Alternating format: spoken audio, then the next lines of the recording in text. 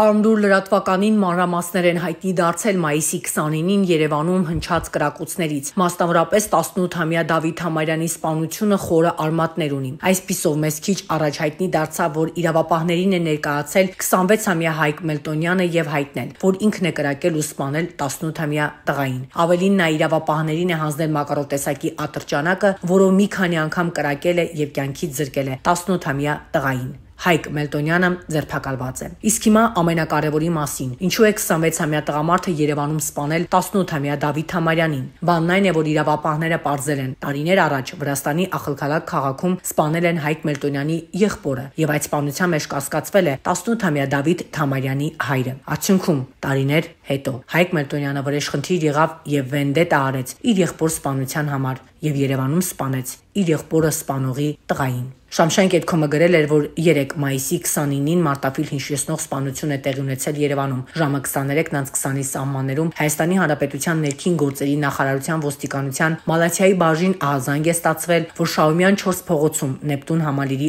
ավտոկայանատեղիում կրակոցներ են հնչել եւ դիկա։ Ինչպես դեպքի վայրից հայտնում է ոստիկաններն ու քննիչները դեպքի վայրում հայտնաբերել են երիտասարդ տղայի դի կրակված պարկուշներ ու գնդակ արնանման հետքեր։ Ոստիկանությունն ու քնչական բաժինը ողջում են մահացածի ինքնությունը։ Դեպքի վայրում հավաքված մի քանի քաղաքացիներ, ովքեր հրաժարվել էին տեսախցիկի առաջ խոսել, հայտնել էին, որ սպանվածը 18-ամյա Դավիթ Թամարյանն է, ում վրա մի քանի անգամ կրակոցներ են արձակել ու մինչև շտապօգնության ժամանումը նա մահացել է։